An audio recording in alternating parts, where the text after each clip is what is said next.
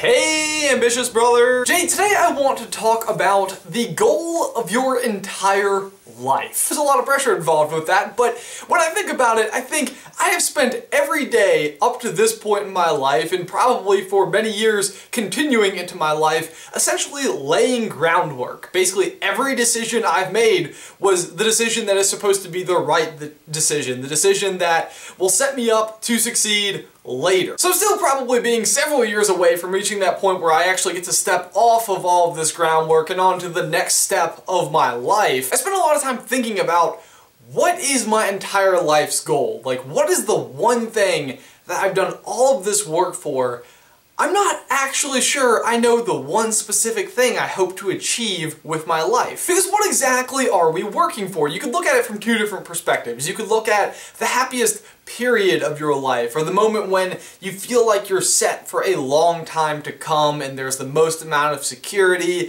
and the least amount of stress, but then you could also assume that there could be the best day of your life, which may or may not come during that period of time. So we spend our whole lives working, so is the goal what you do within your life, like what you achieve as a career, what you achieve personally, or is it reaching that point, the very last day of work that you ever have to put in, and you get to walk out of there knowing that you don't ever have to do anything ever again. I mean, what would that feeling even be like? I, because I'm not even someone who specifically thinks of retirement as an idealistic end to my career. Like, I would think I would rather just continue to work for a long time because I actually enjoy work. It's it's the goal-oriented nature of what I'm doing. It is it is always kind of setting the bar a little bit higher than what I've already been able to do and then seeing if I can't achieve it. But it could also be because I am still very early on in my professional life. I'm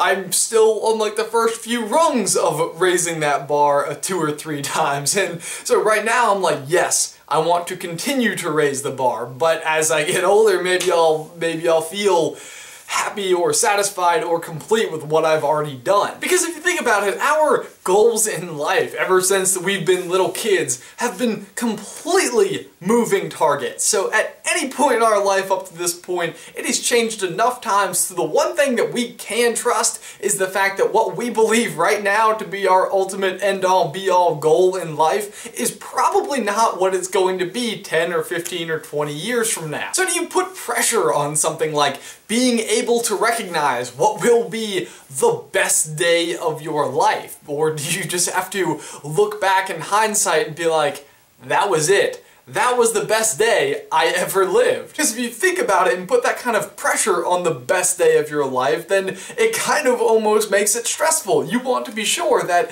the best day that you live in your whole life, you actually appreciate and you realize that it's happening. So for my question of the day, how do you perceive the best day of your life? Is it a completely relative thing? Is your life relative to your mindset within a certain situation? So 65-year-old Ben Carlin could have a completely different best day of his life than 25-year-old Ben Carlin, which would actually mean that within my lifetime I could have multiple, many best days of my life. Or do you think if you had the ultimate day, if you were actually able to recognize this was it, this was the best day of my life. And I think if you could, that would not be an upsetting thing going forward in your life, because if it is such an amazing day that you are able to recognize it, then it's probably something that you could appreciate for the rest of your life. But it would also be hard knowing, I just had the best day of my life.